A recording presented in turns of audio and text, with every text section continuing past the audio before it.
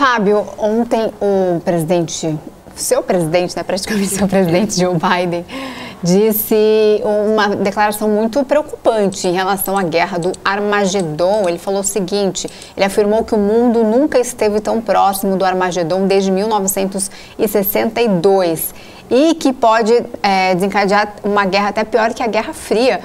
Ele deu declarações em relação às armas nucleares, dizendo que a Rússia e a Coreia do Norte eles não blefam e deixando todo mundo muito preocupado. Como é que isso está repercutindo aí?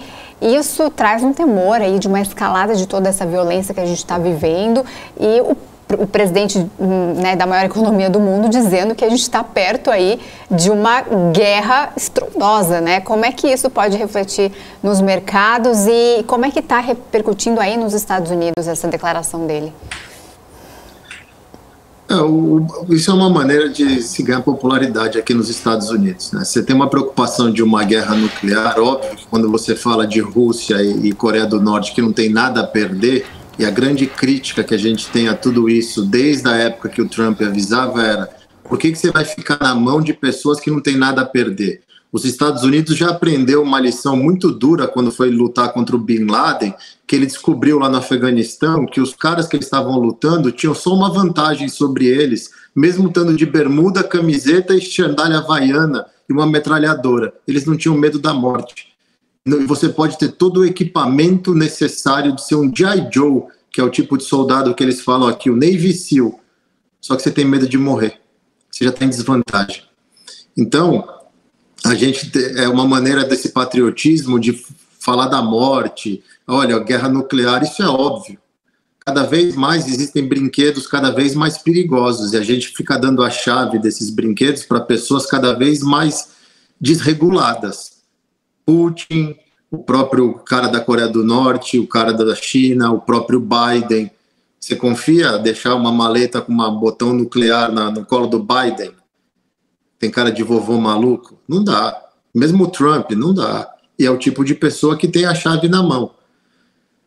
Não devia ter mexido com o cara e quando dava para ter resolvido, ter resolvido. O problema que a gente vem batendo na tecla nessa guerra toda Rússia e Ucrânia é que não ninguém até hoje deu nenhuma solução onde a Rússia volta a ter alguma relação com o resto do mundo enquanto Putin for o Putin.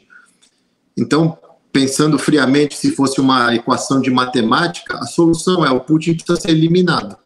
Porque não tem nenhuma solução positiva ou negativa com o Putin não sendo eliminado. As positivas não existem, a negativa é dominando o mundo. Então elimina o Ocidente.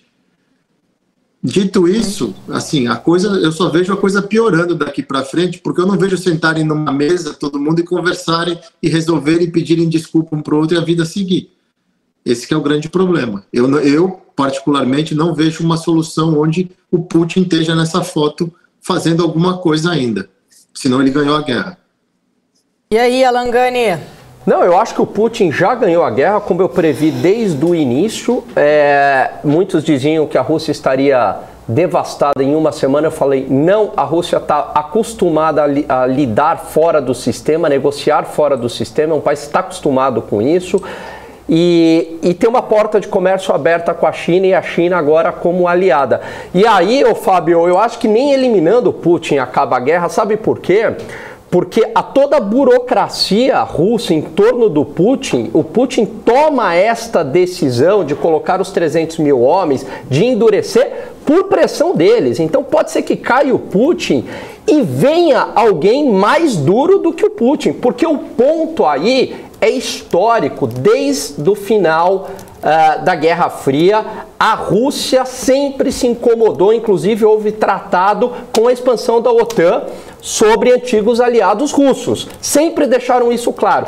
E Ucrânia e Geórgia colocaram uma linha vermelha. Em 2008, o ministro das Relações Exteriores é categórico. Se vocês avançarem com a Ucrânia, vocês estão cruzando uma linha vermelha.